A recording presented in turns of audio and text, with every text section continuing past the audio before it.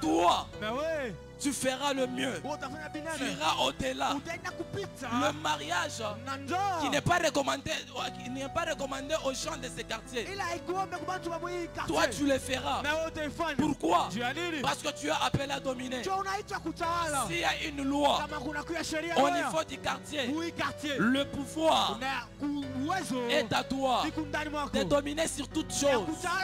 De dominer